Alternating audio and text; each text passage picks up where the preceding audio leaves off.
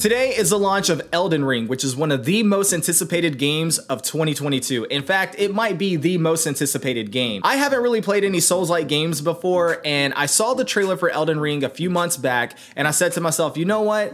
I'm gonna have to give that game a try. Then the reviews came out, and everyone, and I mean everyone is praising this game. Some of the most critical game reviewers out there are saying that Elden Ring might be the best game they have ever played. And honestly, when I saw that, I was absolutely floored because that is not a title you just hand out to any game. That that's a pretty big deal. Now, this video will not be a full review of the game. I mean, there's no possible way I could do that. I don't get games early, unfortunately. Maybe one day. But what I can do is I can benchmark the game for you using two different GPUs. So today I'm recording two videos back to back, one for the RTX 3070 and one for the GTX 950. This video is about the RTX 3070 and how well it can run Elden Ring. Can it run it at 4K with all the settings maxed out and still maintain 60 frames per second? I don't know. Let's find out. And my next video will be about the GTX 950 and how well it will run Elden Ring. If you're interested in that, get subscribed so you don't miss that video.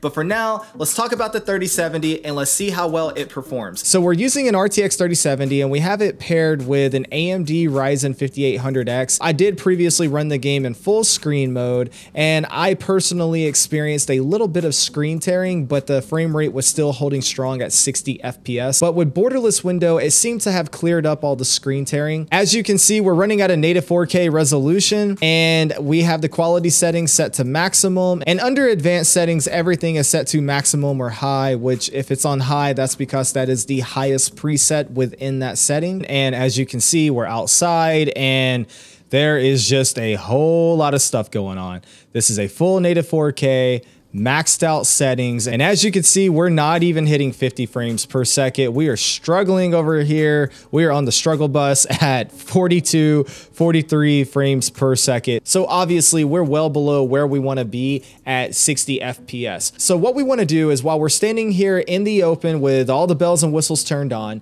is we want to mess around with the settings and see what it would take to get up to 60 frames per second. Now keep in mind, this game is locked at 60 FPS. That means you cannot go above that no matter how good your hardware may be. Eventually, there's probably to be some type of mod or something to unlock the frame rate. But for right now, the maximum that we can achieve is 60 frames per second. So how can we get to that? We can obviously drop the resolution down to 1440p or down to 1080p, and that will definitely have a massive impact on performance. As an example, I'll show you right here. If I drop down to 1440p, and back out, as you can see, we shot right up to 60 FPS. We're not moving, we're outside. It's the exact same scene as it was a while ago. All we did was lower that 4K resolution down to 1440p, and now we have a locked 60 FPS and it's not fluctuating at all. But I wanna see if we can make that work with 4K, right? Because after all, I have a 4K monitor and I wanna see everything in 4K. So we're gonna bump it back to 4K and immediately, boom, we're back down to the 40s, 46, 47 FPS. So what can we do to get that up to 60 while at 4K? So the first thing we can do is we can lower the quality, right? We can go from maximum down to high. And as you can see, our frame rate did go up just a little bit.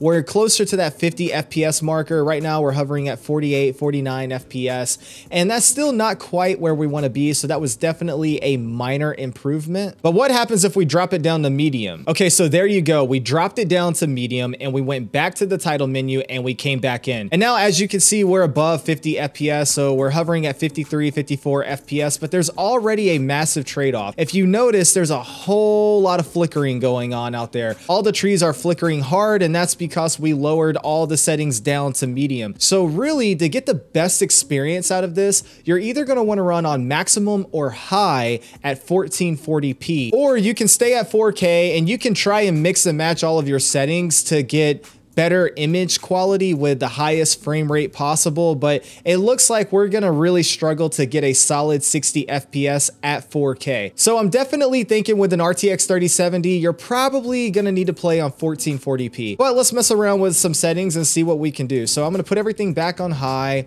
and then I'm gonna go over to advanced, and I'm just gonna start lowering different things, right? So depth of field, let's put it on medium. Let's take motion blur all the way off. Shadow quality, we can do medium, that should be fine. Lighting quality, let's leave that on high. Effects, let's do medium. Reflections, we'll do, oh, you got high or low. Let's do low. Water surface quality, we'll do low. Shader quality, we'll do medium. All right, let's see what that does, right? Okay, so we did a mix of different settings, and as you can see, we're still at the 50 FPS markers. So we didn't really improve our overall frame rate, but as you can see, the image quality is a little bit better. We don't have anywhere near as much flickering or stuttering going on, which is definitely an improvement. Okay, so I'm gonna do two more tests really quickly. I'm gonna go over here and lower the quality all the way down to low. Okay, so we took the quality preset and we put everything on low. And as you can see, we have our 60 FPS at a native 4K, but my goodness, look how bad all of this is.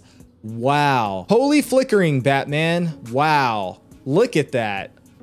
Oh my goodness. Oh, wow. This game looks like kind of looks like Minecraft, especially that building over there. Oh my goodness, this is terrible. Okay, so obviously you do not want to play on low. So the better option here for the RTX 3070 is to play at a 1440p resolution and try and see how high you can push the overall settings. So let's give that a shot. Okay, so we're gonna lower it down to 1440p and we're gonna bump it back up to maximum. Okay, here we go. So we're back at 1440p and everything is maxed out, right? And as you can see, standing still and even moving around just a little bit, it seems like we have a pretty solid 60 FPS. But the fact that we took just a couple of steps and even dropped to 59, that tells me that when I go over here and I try to fight this guy on the horse, we're probably going to get a pretty big frame drop. But let's find out. All right, so we're officially in combat. He is hitting us. He is hurting us pretty badly, but we're still holding steadily at 60 FPS at 1440p with everything maxed out.